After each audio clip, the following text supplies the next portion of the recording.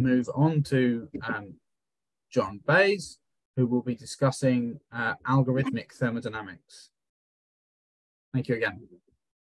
John, are you, I see yes, you're with us.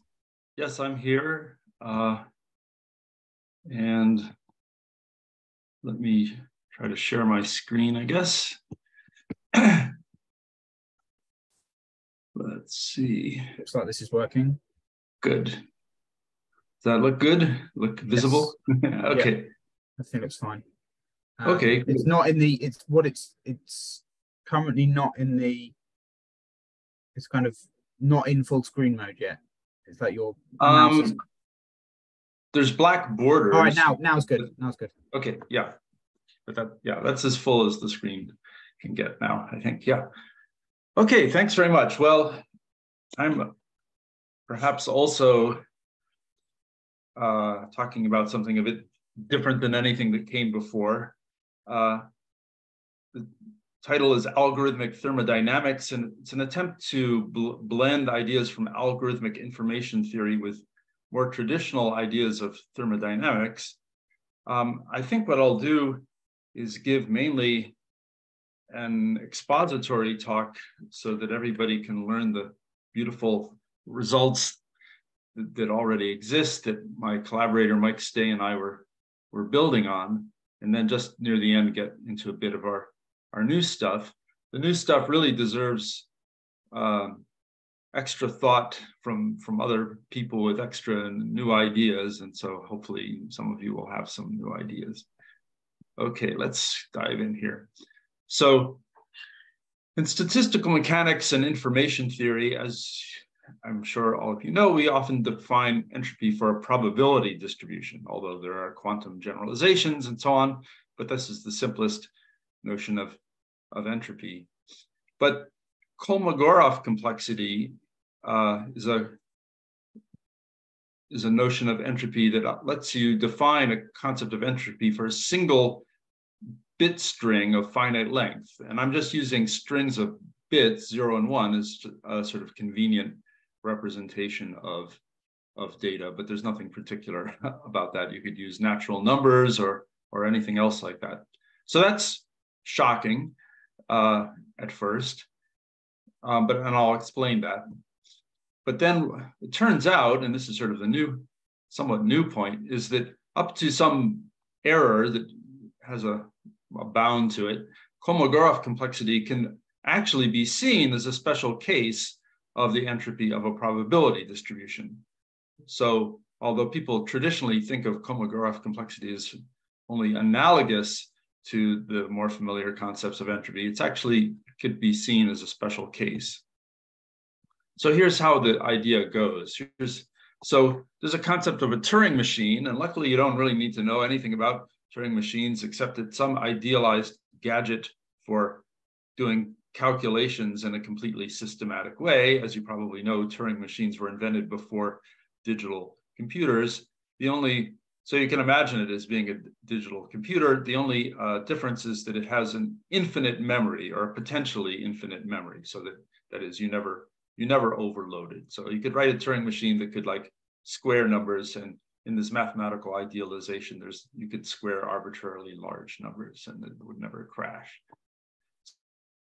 In, let's call it M, will compute in general compute a partially defined function from natural numbers to natural numbers. So you put in an input, which is a natural number, and then it may eventually halt and print out a natural number, but it can get stuck in an infinite loop and never halt. And so then your then it's the answer is not defined. So we just get partially defined functions in general. And there are results from logic that say that you can never uh, dodge the, uh, the, the problem that, that some of your programs don't uh, halt. I mean, you can never dodge it without significantly weakening the power of your Turing machine.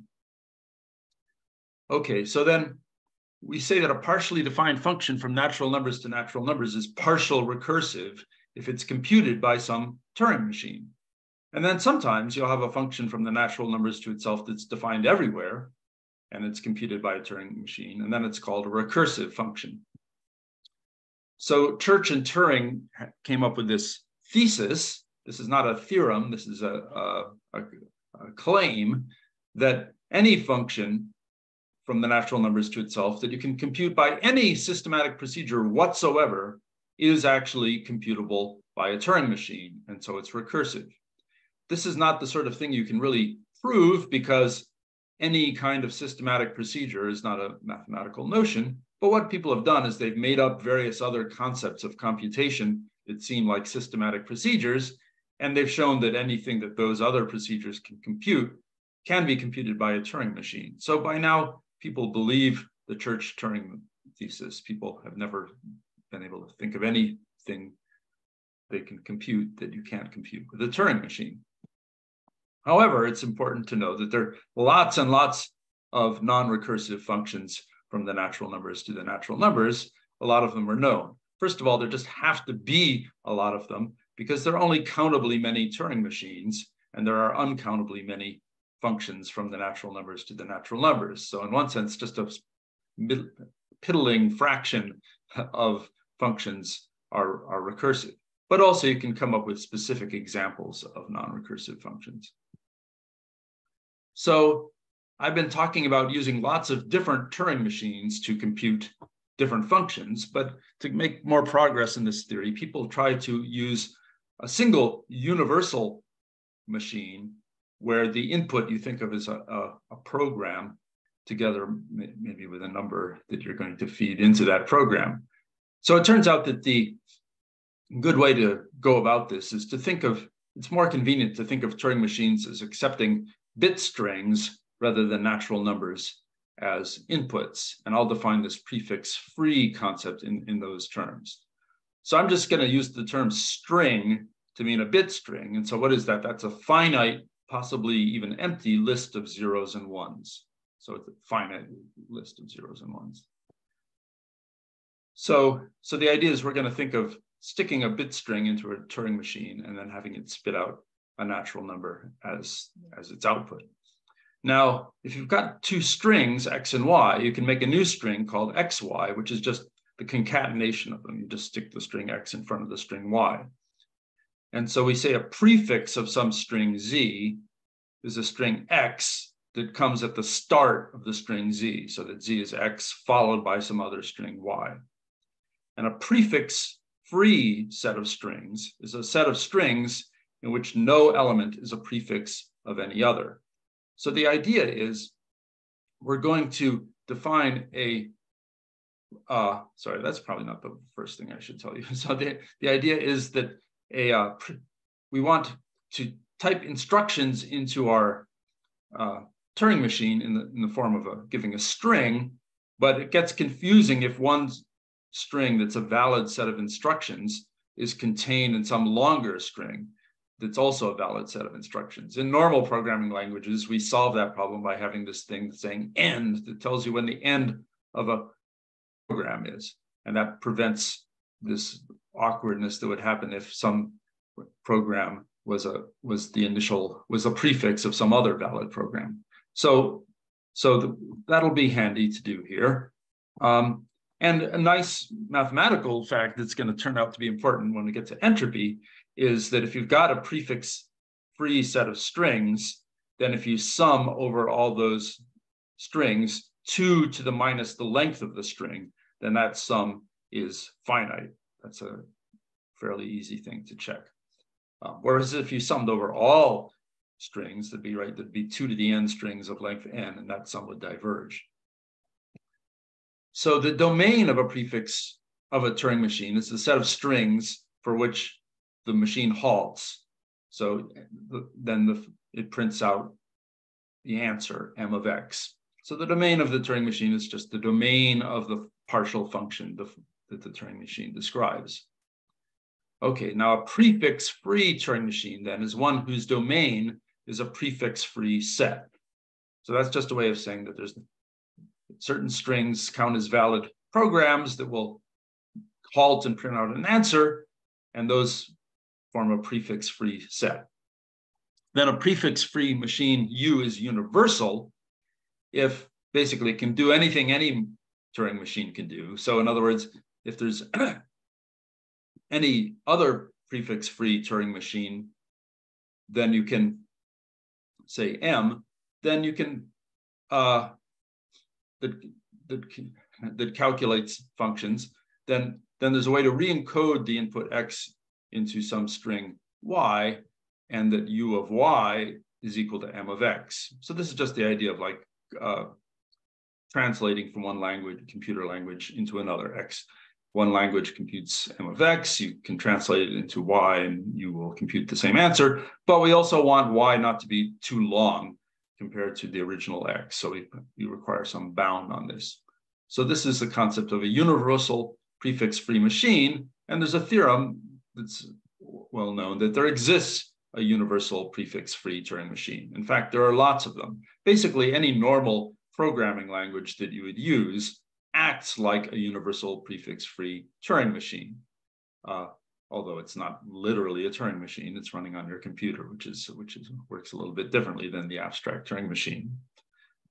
And, and this bound here says that, like, for example, uh, if you use any reasonable computer language, you'd never have it be that, like, my computer language, uh, I could always write my programs much shorter than your programs. There, there, there will be this uh, difference in length that's bounded by a constant in how long our programs need to be. Okay, so the Kolmogorov complexity of a natural number is just the length of the shortest string x with u of x equals n. So in common parlance, it's just the length of the shortest program that prints out that number.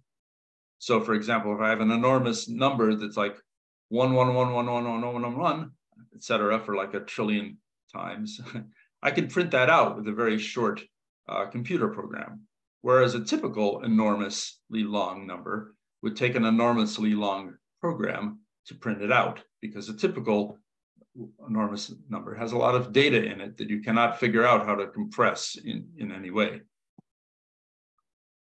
So we could also talk about the Kolmogorov complexity of a string because you can encode strings as natural numbers. And indeed, you can define the Kolmogorov complexity of any sort of data whatsoever. Okay, so now here's the interesting part for people like information theory, right? Shannon entropy works for probability distributions on the set of strings, whereas Kolmogorov complexity assigns uh, a, an amount of complexity to an individual string. But there's a relationship to, between them, which is actually proved by Kolmogorov, which is that the Kolmogorov complexity of a long randomly produced string chosen from some probability distribution is typically close to the Shannon entropy of the probability distribution. So for example, well, here, here's, here's how we make that more precise. So suppose you have any probability distribution on k-bit strings, then you can define its Shannon entropy in the usual way. And then what you can do is choose a whole bunch of random strings, n of them, from this probability distribution. Then you can stick them together, x1, x1, x2, da, da, da, just concatenate them. So you get a long string made out of pieces that were chosen from this uh, probability distribution, and it will have some Kolmogorov complexity. There will be some program that can print out that, that string, and you can find the shortest program that does that. And the length of that program is this Kolmogorov complexity. So here's the theorem that with probability one, as you let n goes to infinity, the Kolmogorov complexity of this concatenated string approaches n times the Shannon entropy of the probability distribution that you use to cr create this string. You expect that factor of n down there, of course, because we're, when n increases here, we're making longer and longer concatenated string. So, so this is um, the connection between algorithmic, the basic connection between algorithmic ways of thinking about complexity and Shannon entropy. Now, there's an interesting problem, though. We've got this great notion of the complexity of a single string. Unfortunately, that, that function is not itself recursive. You cannot compute the, uh, the entropy, the, the Kolmogorov complexity of a single string in general. And in fact, there's even an upper limit on how complex you can prove anything is. There's an amazing theorem here. You can pick whatever set of axioms you like for mathematics. And if they're a finite set and they're consistent, there's some number that you can't prove any string whatsoever has Kolmogorov complexity bigger than that number. This is amazing because there have got to be infinitely many strings with Kolmogorov complexity arbitrarily large. So you know that there are lots of strings with large Kolmogorov complexity, but you can't ever pick one and say that one I know is very complex. And the reason is because there might be some short program that keeps running along for on and on, and you have you find it un, you can't really tell whether it's going to halt or not, and it might after eons halt and print out this this your some particular string, but but but you can't really ever prove that it's that it's uh, you can't decide using a computer whether it's going to halt or not. So that's annoying. You have this nice concept, but it's uncomputable. So Levin introduced time-bounded complexity. So instead of minimizing the length of the program that prints out a number, you can minimize the length of the program plus something involving how long it takes for the program to run. And traditionally, they use the logarithm of the runtime. So what we do here is, suppose we have a, a universal prefix-free Turing machine, U, and suppose it halts on some input X, and let T of X be the number of steps it takes before it halts, then you define the Levin complexity of this, of this number, of a number n, of any number n, to be the minimum of the length of the program plus how the logarithm of how long the program takes to run, and you minimize over programs that print out that, that number n. So this basically winds up getting rid of the uncomputability problem that we had with Kolmogorov complexity because programs that take a huge amount of time to run get, get penalized by this extra sum term here. So um, this number here is not an is not an integer necessarily because it has this logarithm in it, um, which I guess is just sort of a tradition. But so it's a to any number, it, it spits out a, a, positive real number called the Levin complexity. And the interesting thing is that that is computable by a computer program to arbitrary accuracy. So unlike the Kolmogorov complexity, this is something that you can actually compute. Okay, so that stuff doesn't sound much at all like traditional statistical mechanics. And so let me just show you how it is connected. Okay, so we've got this universal prefix-free Turing machine that we've that we've chosen, and let X be the set of strings for which the machine that machine halts and prints out a number. So it's called the domain of the of the Turing machine. Now let's make up a partition function. So X here you can think of as the set of all programs that halt, if you want to think of it in terms of like uh, sort of everyday language. And we're summing in a typical sort of partition function manner an exponential. Uh, and beta is, is some, some number vaguely reminiscent of, of temperature or inverse temperature.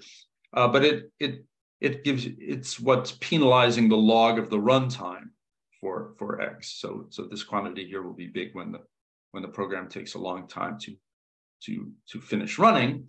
And remember, apps of X is just the length of, of the program itself. So there's another, uh, another constant here, gamma, that, that, that you uh, exponentially use, use to exponentially penalize programs that are just long.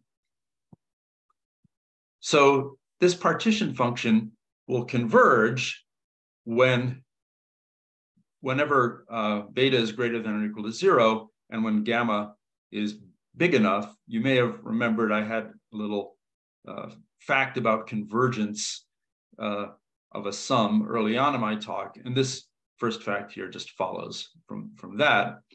Um, if also you beta is bigger than zero so that you are penalizing programs that take a long time to run. That is, they contribute a small, uh, small amount to the uh, partition function. Then this z of beta gamma is actually computable. But for beta equals zero, we run into this problem that it's not a computable function. Um, It's still a well-defined function. It's just you can't compute it with any computer program. Uh, so now we can march ahead and say, wow, that was fun. So let's actually pretend we're, we're uh, doing statistical mechanics now. So you can make a Gibbs type ensemble uh, where you just you know do the usual uh, sort of Boltzmann-like factor and divided by the partition function. That will be a probability distribution on, on the domain of our Turing machine, right? So this is a, we've got a probability distribution on the, the set of programs that halt where the probability of any particular program is exponentially damped or exponentially decreases uh, according to the logarithm of its runtime and also to the length of the program itself. And as usual, this probability distribution is nice because it maximizes Shannon entropy subject to a constraint on the expected values of the two quantities that we've stuck, stuck in this, uh, in this exponential, which are the log runtime and the input length. And so one thing, of course, you can do with this probability distribution is you can just sum the probabilities over all machines that have a specific output, n. And so that will be the probability that a randomly chosen input, that is a randomly chosen program, actually, will cause our universal machine to print out n. So we've got this ensemble of programs, and so we can ask, what's the probability that one of those programs will print out a given natural number n? So you can imagine that like some for very some simple natural number like two, there'd be zillions of programs that will print out the number two, and there'll be lots of sh fairly short programs and also programs that don't take long to run to print out two. So this will be this probability here will be large for a simple number like two. But if I give you a randomly chosen number with a trillion digits, the probability that a randomly chosen program will print that out is going to be very small. And so we could have this standard method in statistics of computing probabilities into uh, something called surprisal or surprise. You just take minus the logarithm of a probability, and that's the surprise. So the, the surprisal sub beta gamma of n is the surprise you'd experience when a randomly chosen input uh, causes your universal Turing machine to print out the natural number n. So you would not be so surprised if it prints out the number two, but you'd be more surprised if it printed out some crazy number with a trillion digits that you would happen to have made up your mind that you were hoping it would print out. So here's the cool theorem. There's some constant c bigger than zero such that for any natural number n, the Kolmogorov complexity is within that number c of this surprisal if you pick the right uh, values of beta and gamma. If you pick beta to be zero, so you're not uh, penalizing programs at all for taking a long time to run. And if you pick gamma to be log two, which just has some, just sort of has to do with some artifact to our conventions, then the surprisal will be within C of Kolmogorov complexity. So what we're seeing here is that Kolmogorov complexity, although we although we described it originally as a something that you compute from a single string, or I should say you attempt to compute from a single string, it's actually not a recursive quantity. Uh, nonetheless, it actually does have a statistical mechanical interpretation up to this constant error.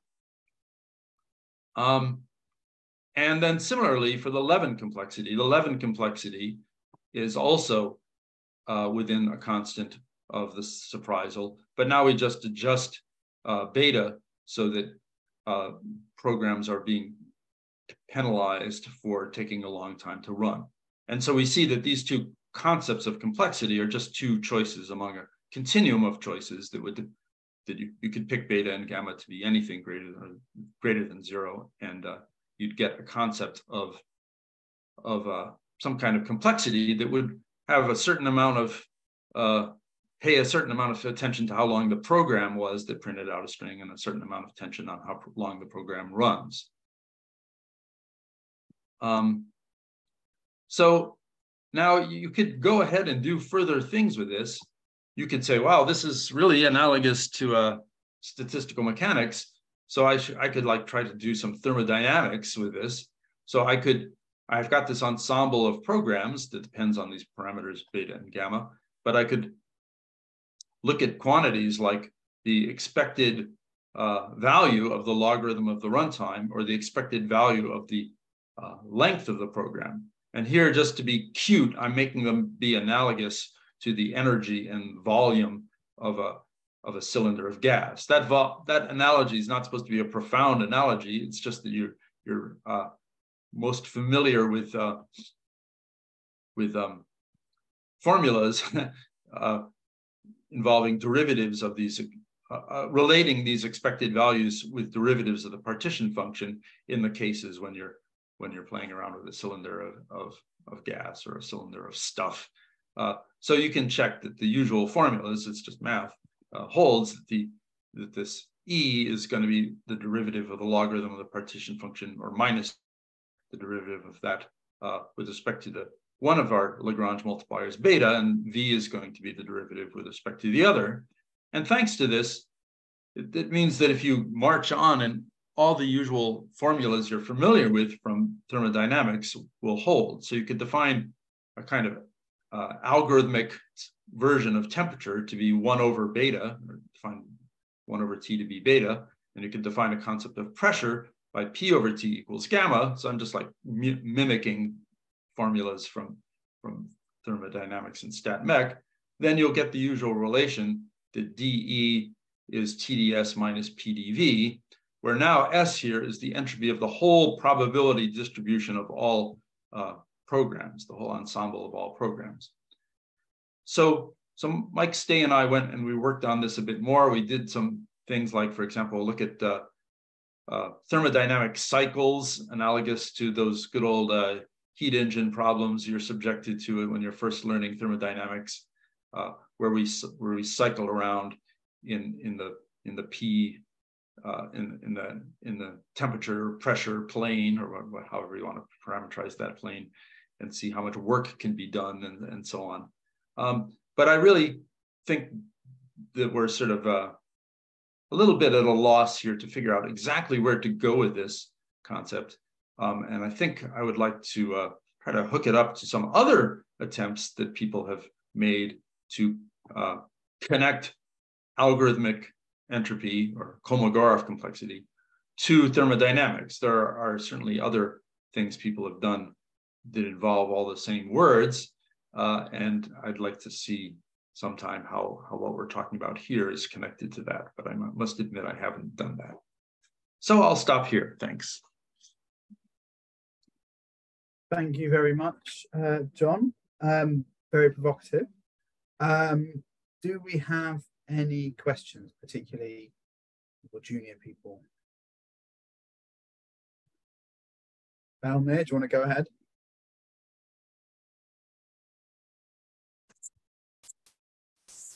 Yeah. Hello. Hi. Hello. Hello. Thank you very much. Very, very nice uh, talk. Very nice uh, content. So I will have a several questions. Uh, the first uh, one is related to this uh, logarithm, this log runtime. Why do you make a choice of logarithm? I don't really know. It wasn't my choice. It was Levin's choice. Uh, so, and I, I wonder about that. And I, uh, the reason, so the only reason why I did that is, is, uh, is to stick stick to tradition for people who already know about about this. He, he was a really smart guy, so he probably had some good reason for it. But as well, far as more, I can see, a, whole bunch of other result, functions right? would have worked. Sorry, it's a, it's a more impressive result if you can if you can make the thing computable by only penalizing with log runtime. Then it's more impressive than if you penalize against runtime, and therefore I guess it's, like, it's a stronger result. Like one yeah, implies log that, implies the one, but probably the other one doesn't imply the other way around. That's true. I but I actually feel that in fact any um, any function that approaches infinity would, would do it because what you really are just trying to do is to is to kill off those I'll have to check. Maybe, maybe, maybe I'm maybe maybe my intuition is inaccurate, and you need some. You need to uh, have some uh, at least a little bit of rate of growth here. But I, I, I agree with Thomas's answer that I mean, if you do just use T of X, all the results I say would still be true, but but uh, but the reverse implication is, Mhm. is Because you later use expectation of this uh, value, and I guess you use uh, ordinary linear expectation. What happens if you change these two more general expectations like Kolmogorov-Nagumo expectation? Uh, can uh, linear entropy somehow be recovered from this framework? oh sorry little type entropy did you say Yeah. I'm having, yeah ah yes I'm sure you could do that yeah that's right you could you definitely could do that all all the you know all the all sorts of basic stuff uh, is true sort of re- uh, regarding Shannon entropy and Renyi entropy, regardless of what uh, your Hamiltonian was. And so you could think of us here as just picking a peculiar Hamilton Hamiltonian on the set of uh, programs. Mhm. Mhm. And uh, just one more quick question. What happens with the chemical potential in this uh, picture? So you define temperature, pressure, so it is Yeah, in our in our in our paper, we we we we we we, we wanted to make it even cuter, so we included a chemical potential, which I didn't uh, introduce here, just to keep it a little bit shorter. Um, again, I want to emphasize that there's no profound reason that we know why we're making energy analogous to this and volume analogous to this.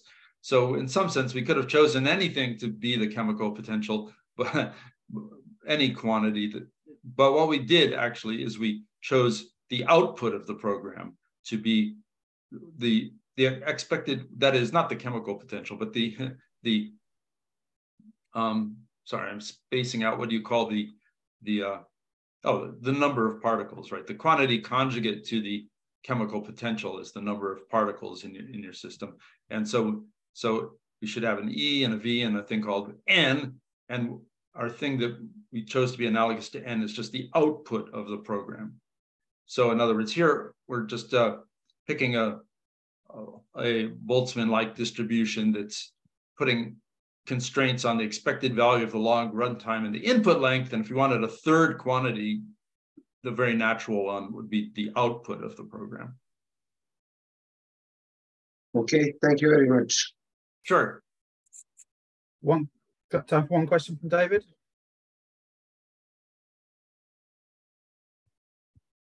Hi, David. Well, see, he disappeared. I don't know. David, do you want to do a question? We can't hear you.